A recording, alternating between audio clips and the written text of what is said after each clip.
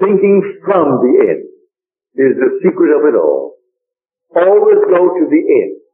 We are always imagining ahead of our evidence. And the most creative thing in us is to imagine and to believe a thing into existence.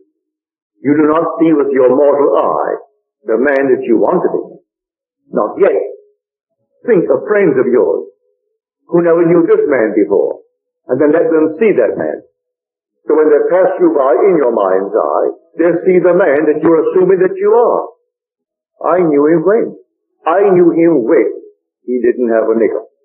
I knew him when he lived on the other side of the street. I knew him when. Let them say these things.